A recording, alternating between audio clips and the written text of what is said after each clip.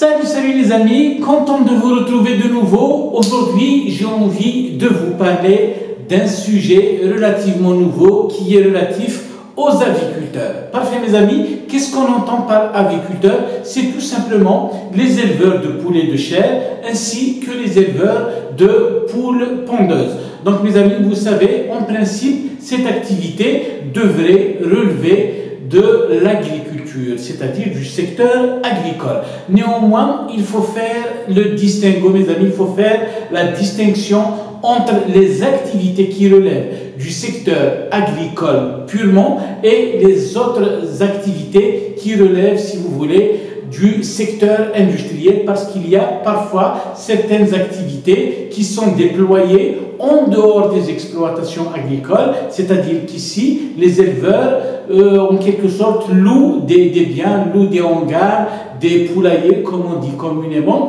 pour exercer cette activité. Eh bien, dans ce cas, mes amis, ces éleveurs ne relèvent plus du secteur agricole, mais des bénéfices professionnels, autrement dit, comme si c'était industriel et commercial, comme on l'appelait dans le temps. Parfait, mes amis. Pour cela, il y a un arrêté interministériel du 18 avril 1992, bien entendu du ministère des Finances d'une part et du ministère de l'Agriculture d'autre part, qui fixe, si vous voulez, le caractère agricole ou industriel de cette activité. Donc voici les euh, chiffres, mes amis. Si euh, l'éleveur ici, en quelque sorte, d'abord exerce dans son exploitation agricole et que le nombre de sujets ne dépasse pas 100 000 par année pour ce qui est du poulet de chair ou alors 10 000 pour ce qui est de la poule pondeuse, on dirait qu'il relève de l'activité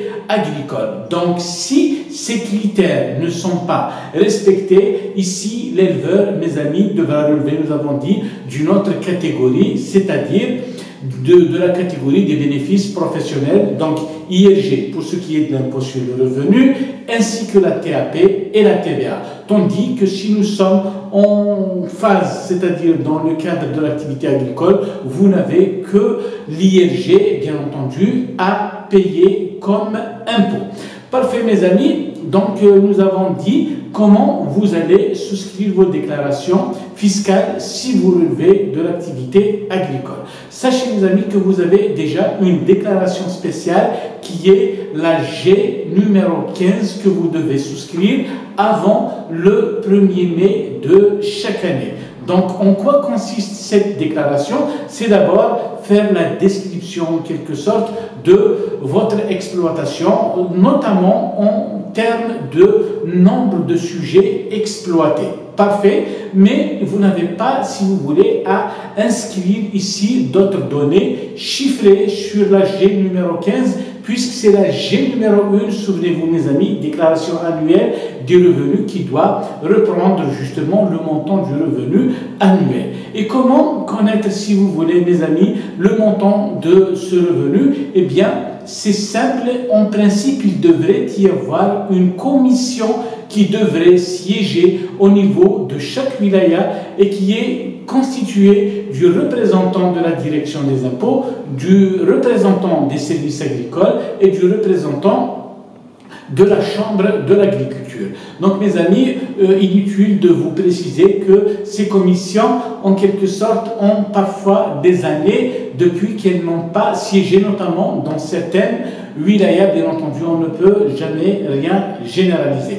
Donc le but de cette commission, mes amis, c'est de fixer justement le revenu agricole par, bien entendu, nature d'élevage, bien entendu, exploité.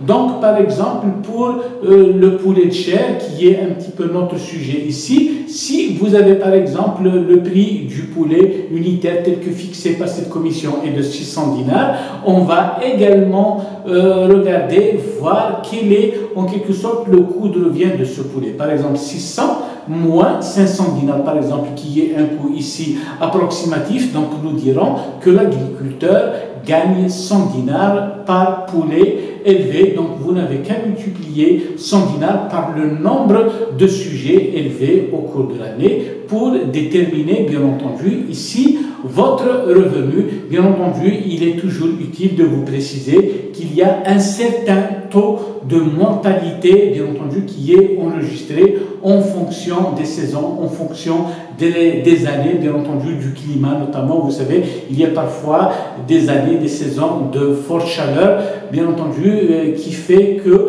le nombre de sujets diminue en raison de la mortalité.